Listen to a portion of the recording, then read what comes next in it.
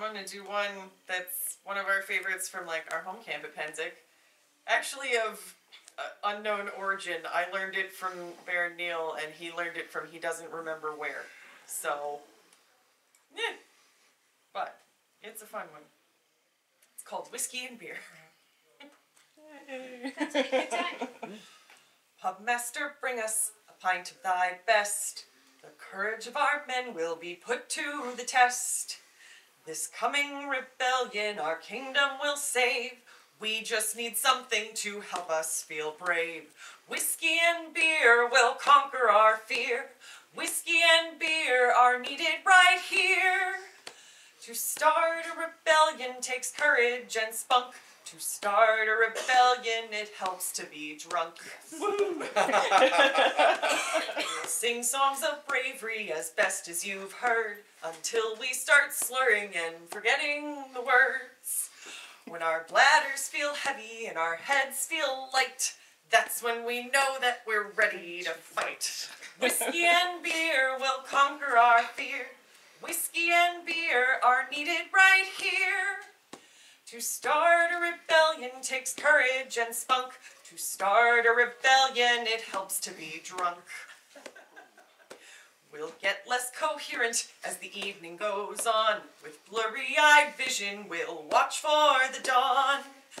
We'll stumble into battle, our hearts will be stout, and we'll be victorious, or else we'll pass out.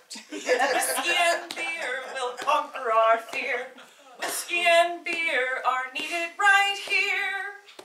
To start a rebellion takes courage and spunk. To start a rebellion, it helps to be drunk.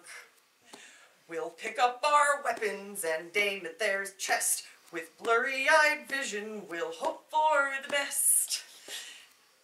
We should fail our lives to defend in one last act of courage, we'll vomit on them.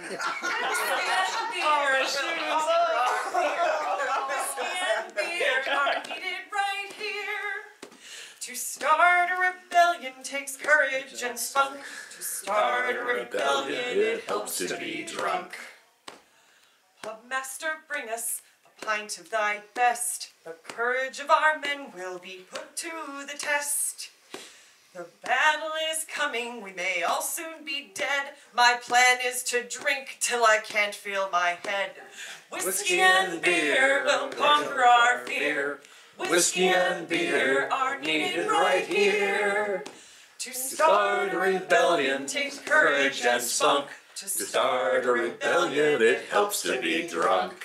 Whiskey and beer will conquer our fear. Whiskey and beer are needed right here. To start a rebellion takes courage and spunk. To start a rebellion, it helps to be drunk. Be drunk.